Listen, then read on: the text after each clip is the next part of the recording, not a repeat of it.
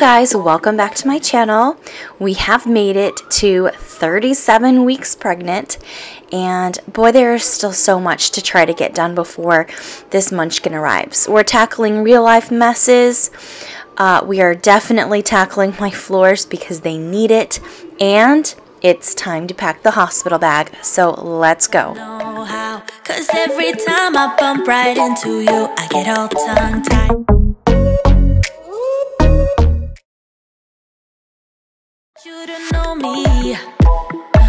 Way too shy.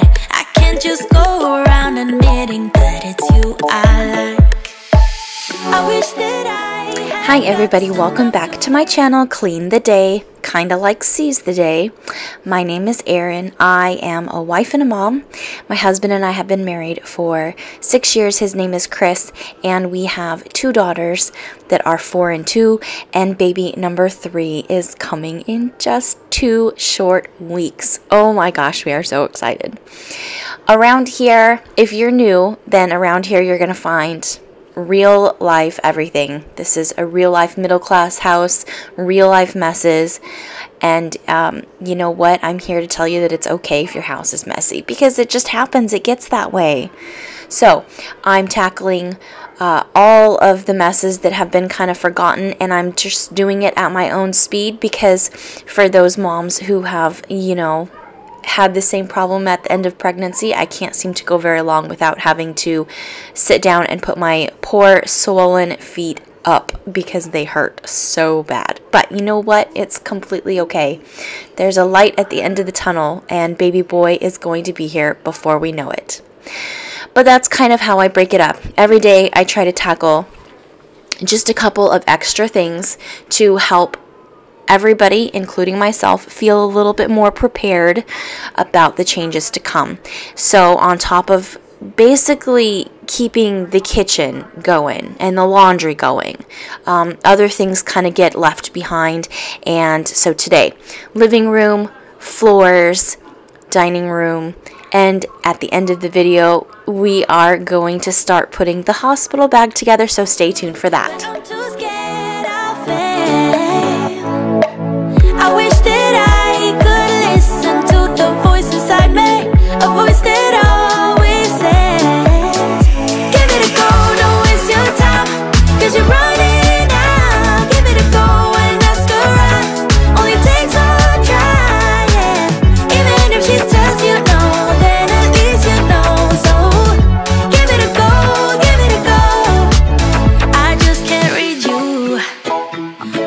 me by. Sometimes you look my way and say.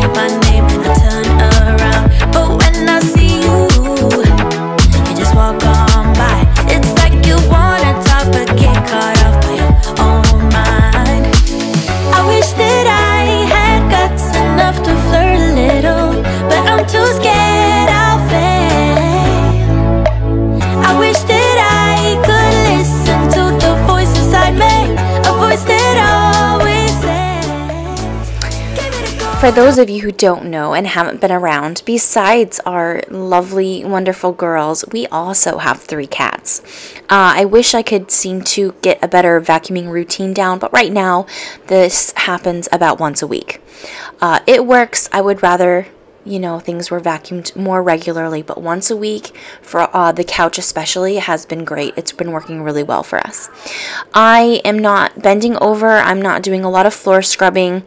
Uh, that's just not possible for me right now. I'm using the Method uh, wood cleaner just to wipe down the surfaces of these wood pieces. They're not going to be perfect. Um, I just try to keep clutter to a minimum at this point. Um, and that's that's pretty much that. And so this was that was day one. This is day two, and day two was all about the floors. So I got out my Tineco, which I absolutely love still, although I'm starting to feel like she's not working the way she's supposed to be. Um, the first couple rooms I did turned out fantastic. They looked great. They smelled great. The floor just looked wonderful. However, I noticed as I kept going, um, the the Tineco was leaving, you know, puddles of dirty water uh, that I'd have to go back over and overall just seem to be struggling to keep up. Let me know if y'all have a Tineco. This is like the first one or the second one. So it is also the cheapest one and I know you kind of get what you pay for. Let me know in the comments if you have ever used this or if you've ever had any kind of problem like that. At this point, maybe in the next few months, I'll be in the market for either a newer version or maybe I will go with the Bissell. I don't know yet. Let me know what you think in the comments.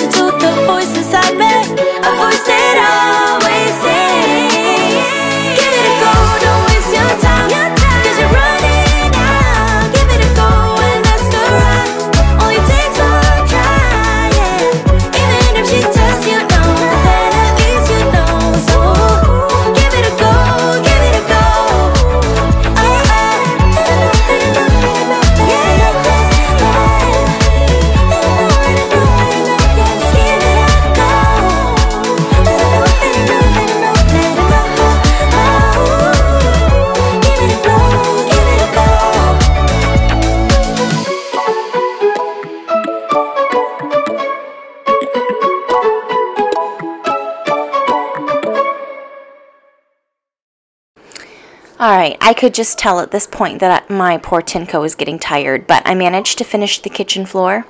I used a straight edge razor blade around the house on the floors to get stuck on messes and the girls' stickers up off the floor. Works great, you just kind of have to be gentle. Um, obviously, you don't want to damage the floors. And then I'm going to go right into packing the hospital bag. So, um, next week will be all meal prep. So stay tuned for meal prep. And if you like this kind of content, please like this video and hit the subscribe button and come back and join me every week um, as we get ready for baby and welcome new baby into the family.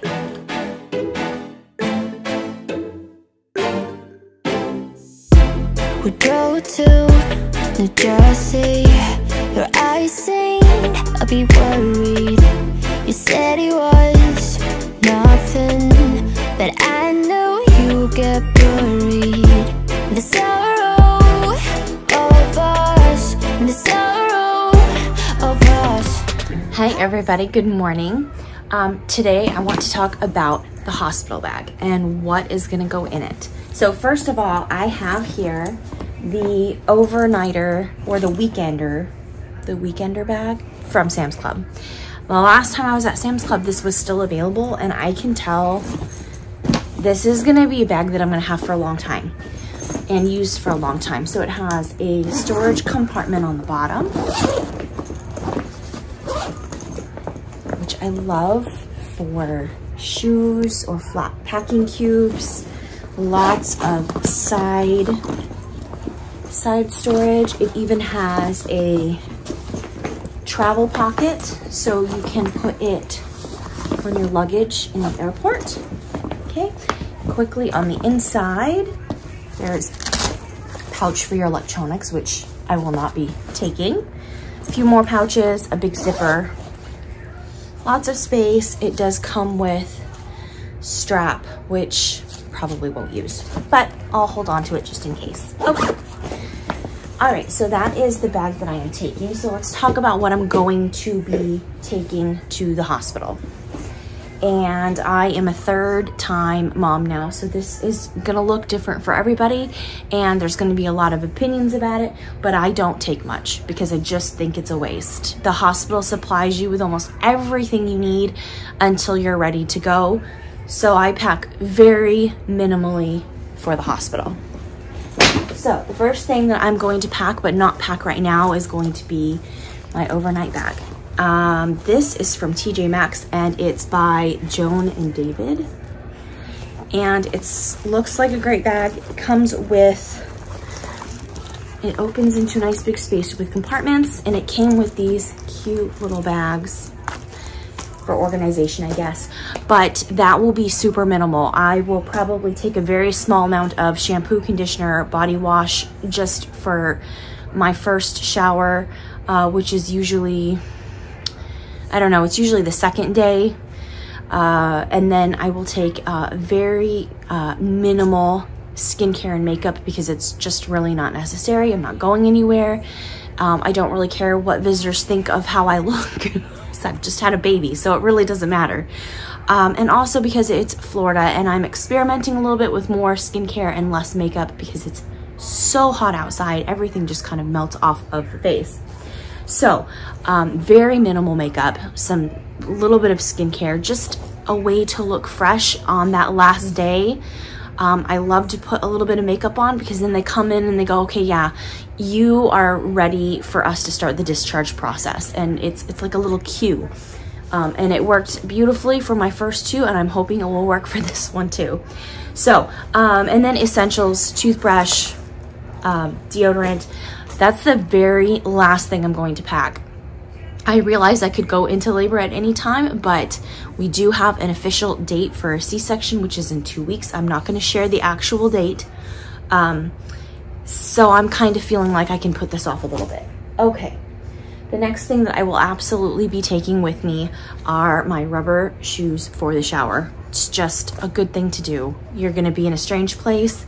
I know the shower's clean. I know that the housekeepers in hospitals work so hard.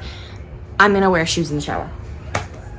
Okay, so for baby, I only have a couple things because the hospital will supply um, like a little half onesie and that's what he's gonna be in for the first couple of days. He'll probably be wearing that in his first picture and we will just put this super cute um, muslin wrap on him and, and swaddle him up for his first picture. It will be adorable.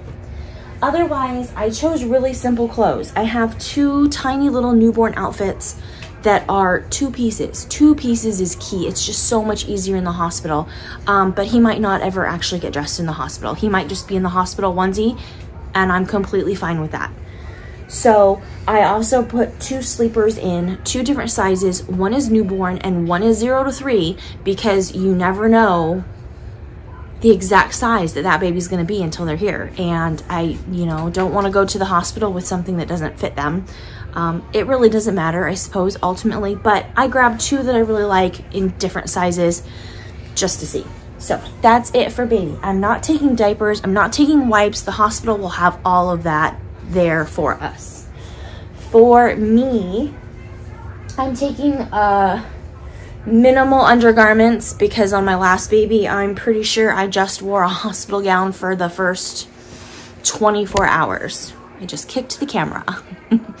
um, so I'm very minimal undergarments, um, nursing bra, definitely. I might not even reach into the bag for anything for myself.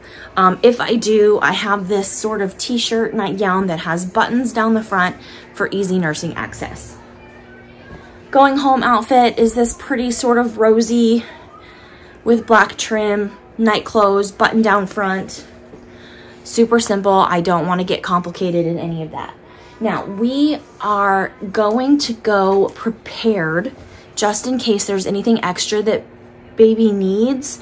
Um, there's a few other things going on that we haven't really shared yet uh, where we feel like we might need some extra supply. So I'm going to be taking my wearable breast pump from Momcozy and I'm gonna take that just in case he has to go to the NICU for observation. Um, they will have a breast pump available for me to use, but this will be a really good opportunity for me to learn how to use mine and I'll have the instructions and whatnot. And also for me. They will have supplies for me. But moms, if you know, you know. That's all I'm going to say there. I'm going to leave that right there. I will be taking my Boppy nursing pillow. Because I, And obviously I will have a cover on it. I just can't get to them at the moment. Um, because that's just helpful. There's one last thing that I think I'm gonna take. I'm not 100% decided on it yet.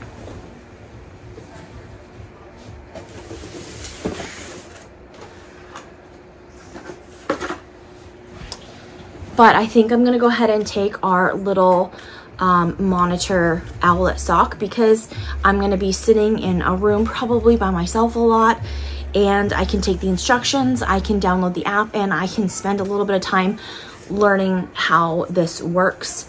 Um, we got this just in case baby really needed a lot more uh, support and being monitored. Uh, we do have an old one that we used for the girls called SenseU. I will link it in my description and I'll link this in the description as well.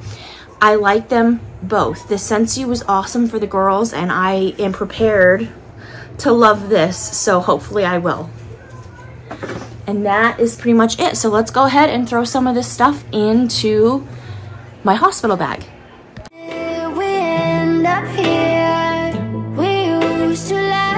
Alright guys, that is it for this video. I'm trying so hard to keep the videos short and sweet and a little informative and definitely full of motivation. But I love this bag so much, I can't even tell you. I am going to show you what it looks like all packed. I feel silly, I've never done this, but I love it. It looks so good, it's so easy to carry. I'll give you a cute little bump. There you go. And thank you so much. I'll see y'all next week. Bye.